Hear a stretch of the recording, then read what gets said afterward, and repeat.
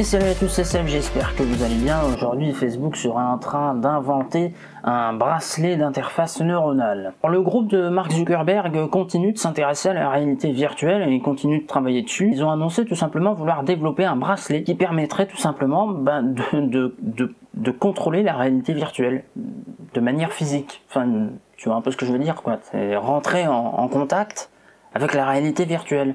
Tu, tu vois un peu le délire. Et tout ça uniquement par la pensée. Même pas par le mouvement, par la pensée. Ils sont forts. Hein. On parle bien d'une interface homme-machine. On en est arrivé à ce point. Comme dans Iron Man. Une interface homme-machine. Je sais pas si vous vous rendez compte un peu du...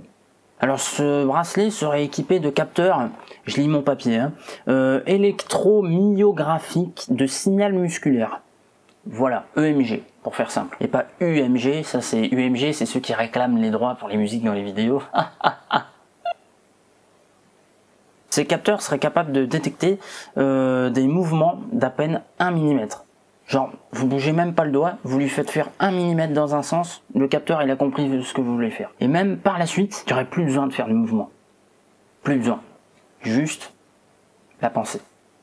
Le cerveau le siège social. Alors il y a une vidéo d'illustration hein, qui a été faite, alors si je la retrouve je vous la mettrai dans la description, euh, une vidéo d'illustration qui montre hein, comment le, le, le, BINS fonctionne, c'est assez incroyable. Cette vidéo d'illustration justement montre eh bien l'utilisation d'un clavier virtuel. Voilà, on serait capable de taper, de saisir du texte sur un clavier totalement virtuel. C'est impossible à l'heure actuelle, sauf avec des capteurs de mouvement et encore, ça marche pas terrible, ça marche pas terrible. L'idée à la fin, c'est de pouvoir porter des lunettes de réalité virtuelle en permanence et de pouvoir interagir avec tout ce qui est dessus, euh, des menus, des, applications et n'importe quoi d'autre. Et tout ça évidemment sans avoir à faire de manœuvres compliquées. Alors actuellement le développement avec les capteurs EMG, hein, électromyographique, euh, truc euh, salade tomate oignon, ils arrivent à faire un clic en pinçant le pouce et un doigt. Donc en gros vous pouvez presque faire ça et avec la réalité virtuelle vous pouvez cliquer. Et attention, hein, c'est pas du, vous pouvez même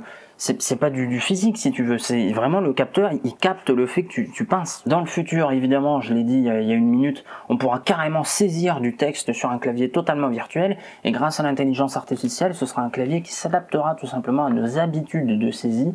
Si vous faites des fautes de frappe, des fautes de frappe qui reviennent souvent, le clavier sera capable de changer des touches de place euh, en fonction de vos mouvements, tout simplement. Il va apprendre tous vos mouvements et il va dire, bah lui, il va là pour taper là, etc., etc. On pourra aussi contrôler des objets connectés. Ça, c'est fou. Par exemple, une lampe, juste en la pointant du doigt, tu peux régler la luminosité, la colorimétrie, tout ce que tu veux, pour peu que ce soit réglable, évidemment.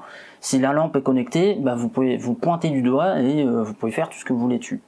Ça, c'est c'est bon. Et il travaille également sur un retour haptique dans le poignet. Par exemple, un objet virtuel qui sera affiché, vous serez capable de le ressentir dans le poignet. Voilà donc pour la nouvelle euh, du week-end, un bracelet euh, comme ça, euh, c'est incroyable. Je ne sais plus quoi dire. Si cette vidéo t'a plu, n'hésite pas à t'abonner et activer la petite cloche des notifications pour être au courant quand je poste une nouvelle vidéo. N'hésite pas à me rejoindre également sur les réseaux sociaux, Facebook, Twitter et Instagram. Et pourquoi je te tutoie? J'en sais rien. J'ai une chaîne Twitch aussi, je fais des lives tous les dimanches à 11h twitch.tv slash officiel, c'est dans la description, allez-y s'il vous plaît. Je vous souhaite un bon week-end, c'était Seb, à la semaine prochaine, dimanche, 11h. Ciao ciao